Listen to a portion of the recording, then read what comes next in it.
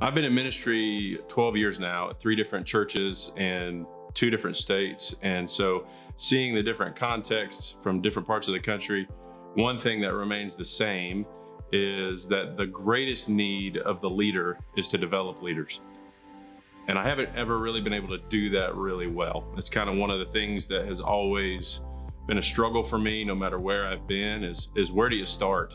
And one of the worst things you can possibly do when you begin to try to develop your leaders is give them bad books. I had started using Growbox personally about two years ago, and through using it, really just loved everything that the Growbox team at Allies was sending me. And so went to them and said, "Hey guys, is there any way we could develop something like this for for my team, for for everybody that volunteers with me to go through the same kind of process that I am?" And Ian and Michael shared with me that this was something that was their heart and their desire. And so Growbox Teams is something that we began to use in January of this year. And the most amazing thing happened. My leaders started using it and they loved it.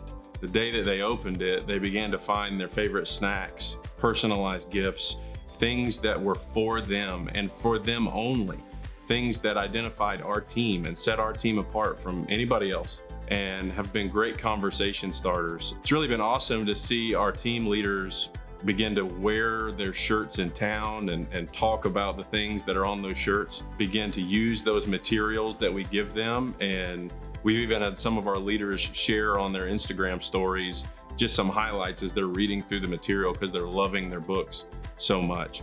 So we are really just right in the thick of using Growbox Teams, but it's been very beneficial in a short period of time. And one of our leaders just broke down when we showed it to him because there was a plan.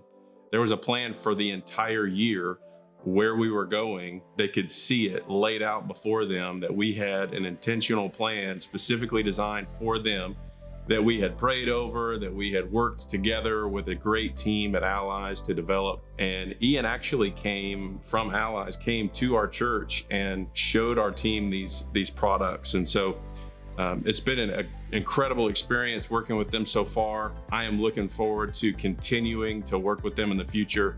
And I tell people about Growbox every time I have the opportunity because it has been so impactful for me personally and also for my ministry here uh, with my team. And so inevitably when you develop your leaders, your students are the ones that benefit.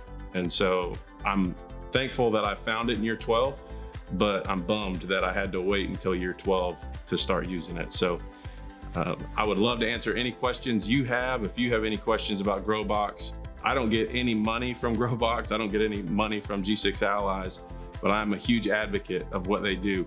And so if I could ever answer any questions about how we're using it practically in our ministry, I'd love to answer any questions that you have.